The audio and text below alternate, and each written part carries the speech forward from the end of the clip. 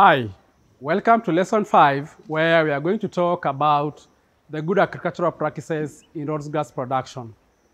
And we are going to discuss the five major factors we need to consider when establishing rhodes grass.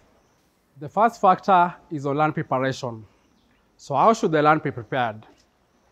So here, you need to ensure that your seedbed or land is fine and free from weeds.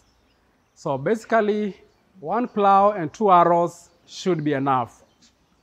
Also, use a non-selective herbicide such as Roundup. This one will clear the perennial grasses such as couch grass. The second factor is plant spacing.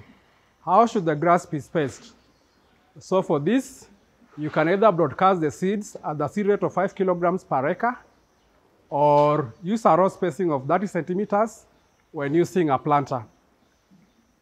Also, ensure to run the tractor over the seeded or planted land to ensure that the surface is firm and the seeds are in contact with the soil. This basically ensures that there is proper germination. The third factor is on plant spacing. How should the crop be spaced?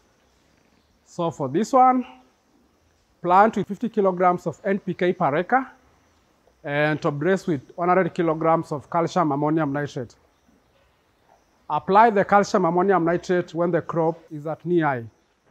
For the first crop and after every cut. Ensure that there is rain before you apply the top dress. Also consider doing a soil test to get a customized fertilizer recommendation which will basically suit your farm. The fourth factor is on weed management. How should weeds be managed in a rhodes grass field?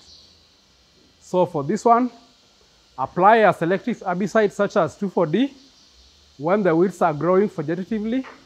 And remember to apply the herbicide early in the morning for it to work optimally. The fifth factor is on the right harvesting stage. When should the grass be harvested? So the right harvesting stage for rhodes grass is when the grass is at boot stage. But since it's not possible to have all the grass at this stage, we recommend that you harvest at 10% flowering.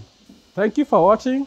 I have been your host, Elisha Kemboy, and I hope you will observe these good practices at your farm to optimize on further production. Bye.